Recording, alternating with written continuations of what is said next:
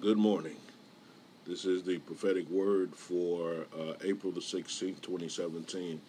I had a most I had a most unusual dream last night, and the, uh, the when I awoke this morning, the Lord says that this is a dream that He wanted me to release um, to those that will watch this video.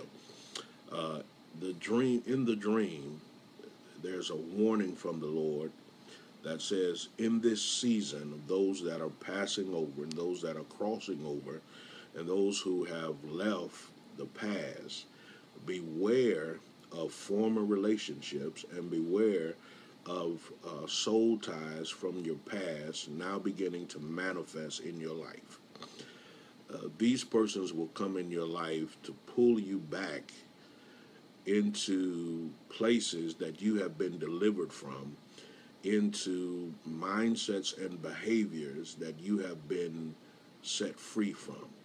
So, so the Lord wanted me to, to just share this dream and to share the interpretation of the dream. I don't have time to share the dream. Uh, it was a it was a message to me, but then the Lord says it is a message to many of my children. Beware of those that you have left.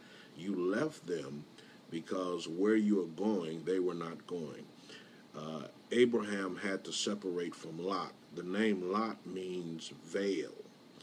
Uh, many of the relationships that you had to leave was because they were a veil over your eyes uh, that limited your vision. So the Lord says, Beware of those that will now begin to seek re entry into your life uh, because they are a veil over your eyes.